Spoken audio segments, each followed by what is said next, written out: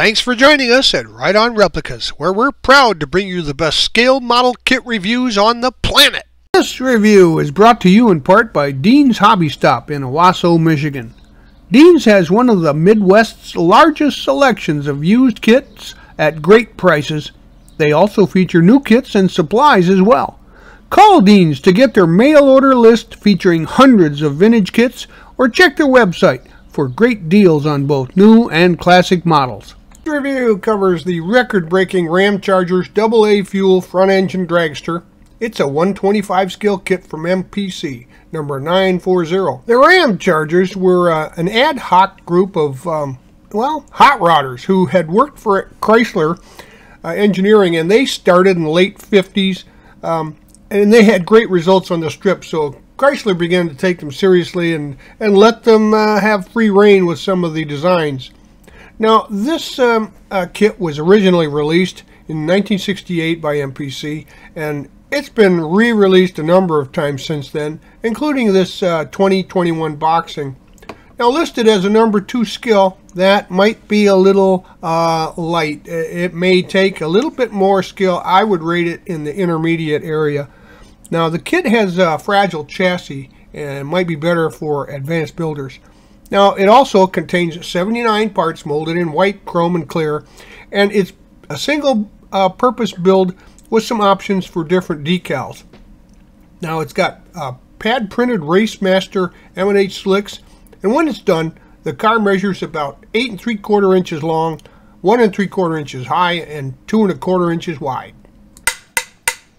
Oh, that sounds like uh, Newt, uh, the program director back there, tapping on the glass. He's got a question. Uh, what's your question, Newt?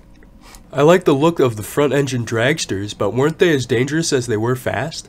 Well, that's right, uh, Newt. They were indeed dangerous, and eventually the design was abandoned because with the clutch behind the engine and below the driver's feet, they could blow up under the tremendous torque of those engines and hit the driver's feet and legs with shrapnel. In the mid 60s, talk about fast. The the Ramchargers were hitting over 200 miles an hour at around seven and a half seconds in the quarter mile. Here are the contents of the kit. As you can see, there's a nice chrome tree, and the parts were molded very nicely. Uh, I think they did a great job refurbishing these molds. And look at those huge M&H slicks. Um, if you're going to put this together, generally uh, you can use just a regular tube glue uh, to give it uh, some chance to uh, set up in line and make adjustments to the pieces. Um, also, we will be using some of the uh, white glue or clear glue for the uh, glass pieces. And remember to heed the manufacturer's use and safety guidelines when you're uh, using any of the products that you see or hear in the review. The decals for the kit, and as you can see, they're colorful and the register is good. Um, they actually respond well to uh, water, come off easily but you may want to use some setting solution for those longer stripes and decals. One side note on the decal sheet here, you see the Goodyear uh, sponsor decals there. They uh, should not be used unless you make some changes uh, because it comes equipped with uh, M&H Racemaster slicks. So either turn the uh, tires around or uh, resource it with some Goodyear slicks. So construction starts with the wheels. So you can see here that the, uh, the chrome spokes uh, are nicely done, but you need to scrape chrome from areas where you want to glue that together, it won't stick. Same thing with paint, remember that throughout your build. So go ahead and assemble the wheels uh, together, and they should be offset, the one side, the other side in between, so that you can see from both sides. Now the tires then can be slipped right over the completed rims. Next, you can grab the parts for the, um, the supercharger and the blower there uh, and get those ready to assemble. And then those are the basic uh, parts for the engine you see here, and then the completed blower and the manifold uh, assembly. Mm, by the way, if you need some clarification for these pieces, um, go to the uh, back of the review where the instructions are for clarification. The uh, the basic block engine uh, and uh, heads, etc., they were painted just a, a standard, a medium red. Uh, in this case, you used one-shot brand bright red L104, uh, but it's, any uh, basic red will do because this is not a factory color; it's just painted red. Now we assembled the the block and etc. with the chrome parts, and the blower was painted to resemble magnesium, and I made that with some flat black and silver mixed about 60-40. So we'll use these parts to complete the engine, and you also see here a um, wire distributor, which I just made from uh, plastic stock and some small 30 gauge wire, uh, right next to the distributor that we will not use from the kit. But that's to enhance the uh, model because the engine is exposed uh, when you can uh, open up the uh, top of the body. And so you can see the distributors mounted here, and the wires are connected to the heads um, and of course we had to drill holes through the top of the plated uh, valve covers there because that's where the plugs are located on the Hemi. As you can see the engine is completed here except for the headers and they get installed after the engine is located in the chassis for alignment. Now the blower belt was painted flat black and the magnesium pulleys uh, were uh, finished and then the fuel pump is silver and the oil filter was painted orange. Now here's the completed engine from the right side and note there's no tensioner on the blower belt and there's no butterfly detail in the air scoop so uh, we're going to ad hoc uh, a, a, repair to that. Now this uh, you know blower belt's got a tensioner on it and it's from my parts box. I don't know where it came from. Most everybody has them in their parts box but it's for demonstration only. Check your parts box if you want this uh, box if you want the, this detail on your build. Next you can gather up the parts for the rear end and the scatter shield with the clutch pedal and the parts for the rear end then are painted uh, a gloss red uh, same as the motor block.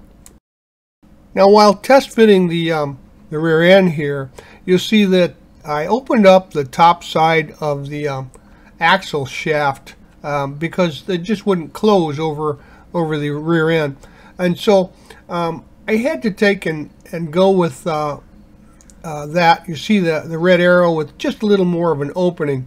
And I just carved it out with an X-Acto knife. And you'll need to test fit the rear end housing in the chassis to see how much to enlarge the holes for those shafts. Now here you see parts for the um, the chassis and frame and this is where the rubber hits the road on dragster models. Um, the best way to do this is to attach the cross members to one side, let it dry, make sure they're perpendicular, and then attach the other side, making sure everything is square. Now the handbrake and accelerator pedal attached to the right side of the chassis and it'll be easier to scrape the paint where the suspension parts will glue on before assembling the chassis. So uh, any chrome or paint from the uh, parts there will need to be removed before you try to assemble it. Now you can uh, insert the um, uh, you know the other part of the uh, rear end and the clutch housings into place uh, on the right side or left side, whichever you started with, and then uh, go ahead and enclose the rest of the chassis frame around it. And now here we're going to gather up uh, some of the parts and things are starting to come together as you can see. Uh, we're going to add the seat and then the roll bar. The steering parts and the fuel tank are next. Now once everything's assembled, uh, the bottom of the body then attaches to the bottom of the chassis. And you can see the colors that were chosen here. Um, seat belts are red with a little a highlighter. Uh, the, there's a steel rod for the steering uh, and linkage. The um, the steering wheel is red, and so is the U-shaped uh, frame uh, rail. The uh, you know the roll bar there. so gather these pits, put, Uh, parts, put them together, uh, and uh, if you need more information, you can consult that instruction sheet in the back. Now the body is multi-piece, and the way it's installed on the chassis it can't be puttied in to fill the seams, so it has to be painted before it's installed. Now the upper seams are kind of hidden under decals, and with little care they don't show too much of them. And the seams on the side do show, so just use some care when you're gluing the body together. And so you see those parts installed here. The uh, roll bar, of course, sticks way up on top. That's the high point of the model. And there's um, the lower body and the fuel tank and the uh, steering components are now all glued into position. Next we'll locate and add the uh, front axle, uh, the tie rod and the steering rods and uh, these rods are very fragile. There's very small gluing points. Be careful when you're cutting them loose from the parts tree so that you don't break them off. Um, you may also find if you carefully scrape any uh, plating or paint from them uh, that a little bit of super glue might help here if uh, you need to make them stick before they actually set in place. And now you see those parts assembled here and this is their configuration uh, after gluing them into the body. Now scrape your gluing points before you do this, but uh, go ahead and um, you know wiggle your rear axle into position there just in front of the seat. At this point, I deviated from the instructions uh, because the decals here will be easier to apply if the suspension locating bars and the drag, drag link are left off until a little bit later. Now it's time to locate the uh, mounting points for the motor and uh, both on the chassis and on the engine and uh, scrape that paint there and the engine and the fuel line then can be put into place. But leave the headers off until after the decals are applied later on. And you see the rear halves of the body have been slid over the rear axle and glued together. The rear body is not glued to the chassis. Um, the rear axles uh, are located here uh, and they just put the uh, parts into position trapping them. So you'll see this better in uh, some more pics later on. Now it's time to uh, assemble the wheels and tires. And you can see here the parts for the rear brakes and the wheels and tires. Uh, the fronts and the backs are painted uh, magnesium, uh, we talked about earlier. The brakes are silver with aluminum brake calipers. And the wheel fronts and the backs are glued together uh, with the locating discs and they're trapped between the two. And if you don't want the model to roll, just glue the locating disc to the wheels. Now, here's a tip. Um, if you leave the front and rear wheels and tires off until after you've applied the decals to the body, uh, you can still slip them on and it's easier to locate the decals. Uh, but you can put those on, wheels and tires on later, right, just by gluing them into position. So here's the issue uh, the red arrows point out. Uh, we talked about earlier. There are Goodyear sponsor decals here, and some versions of the uh, Ramcharger rail had Goodyear tires, but this one comes with uh, Racemaster slicks. Um, so your issue is to turn them around so the lettering doesn't show, and you may even uh, want to uh, paint that side of the uh, tire a flat black or something. But if you've got some Goodyear slicks about the same size, you could use those. Or you can uh, simply add some aftermarket decals to those. Uh, they have to be about the same diameter and size because the slicks are uh, they're pretty narrow uh, uh, positioning there. Here you see that I've applied the uh, option 1 decals for this body build. Now they go on easily. There's really nothing in the way, way you know, but use some setting solution on the long stripes. And note the uh, decals that cover the seams on the body, uh, on the top of the rear body there. Um, they hide that somewhat. Now the front has seams on the side. And be careful, um, you know, to assemble these and minimize the seams.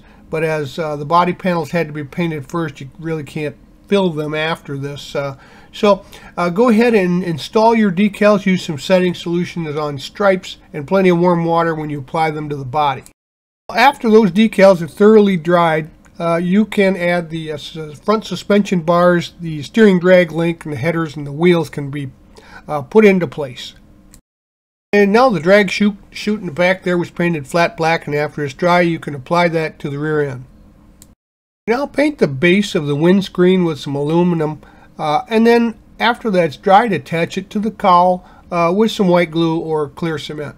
And so here I got a little inventive. I sliced some toothpicks, round toothpicks, and glued them to the front uh, after painting them red to uh, of the blower to uh, simulate some butterfly flaps. And so here are the parts that you'll have left over from the kit and the decals. Uh, unless you use option 2 decals, then you'll have different ones that are left over. Well, there you have it. Your gorgeous looking candy stripe Ramchargers rail has now um, uh, gained the notoriety of being uh, a head looker on your shelf. And um, as you can see, it's a, it's a real beauty. Um, and it's really not that hard except for some of the fragile uh, frame parts, etc. You can also add a little detailing to really enhance the look of your model, uh, and it doesn't really take much. Now, it really, uh, pretty much other than the frame, assembles pretty easily. Most of the locating points are pretty obvious, uh, and um, you just got to make sure to scrape the paint and glue, uh, paint and uh, chrome to glue the parts into position. But uh, once she's finished, as you can see here, you can scuff up the tires a little bit for some more detail. And there's a lot of things you can do to make this a real head turner. So if I were you, I'd buy one and put it on my shelf. Well, we hope you liked this premium scale model kit review and so that you don't miss any more, please subscribe to our YouTube channel by clicking on the icon in the lower right of any of our reviews. And you could find us on Facebook or our website, rightonreplicas.com. Thanks.